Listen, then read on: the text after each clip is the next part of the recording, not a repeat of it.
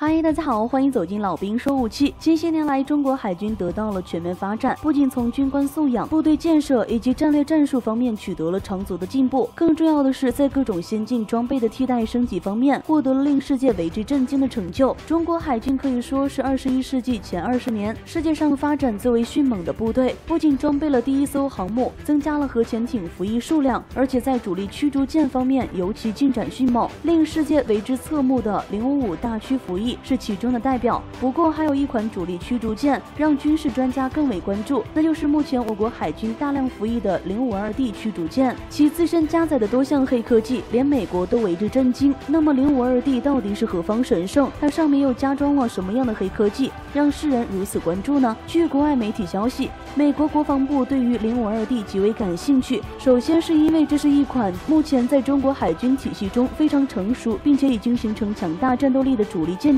而非是科技展示成果的样板。目前，零五二 D 已经在海军序列中服役十七艘，数量远远超过零五五大驱。最重要的一点就是，零五二 D 自身装备了三四六 A 雷达，这款雷达非常先进，其性能已经超过美国宙斯盾驱逐舰装备的雷达系统。在现代战争中，海军早已实现了超视距作战，依靠的就是越来越先进的雷达系统。两军在海洋上交战时，谁能够先发现对方，更快的锁定对方，就可以获得先发。优势，现代海军几乎所有武器都是建立在雷达系统基础之上的。没有了雷达，所有的武器就好像变成了瞎子，根本无法锁定目标。而如果对手的雷达比己方雷达先进，则很可能先被对手发现并发动攻击，自己连还手之力都没有。因此，美军非常重视零五二 D 的雷达系统。据美军智库估计，中国这款军舰的作战雷达可能已经超过目前美军现役的伯克级驱逐舰，所以美军正在加紧研制伯克三级驱逐舰的升。升级项目，而零五二 D 驱逐舰的发展也为我国大型驱逐舰积累了丰富的经验。零五五大驱有很多技术就是源自零五二 D。尽管这款战舰战斗力得到了极大的提升，而且也大量装备部队，但其仍旧无法满足我国海军的需要。最主要的一点就是零五二 D 的吨位和体量太小，无法装载更大型的先进设备和更多的武器系统。目前这款战舰上仍然没有安装对地攻击武器系统，没有对陆地的攻击能力，并且不能起降。大型作战直升机在反潜能力方面仍然远远落后于国外，因此类似于零五五大驱这种大型战舰在今后真正的主力。不过我国海洋领土面积广大，需要各种战舰密切配合，无论大中小型战舰都需大量配备，因此零五二 D 在战斗序列中的地位也非常的重要，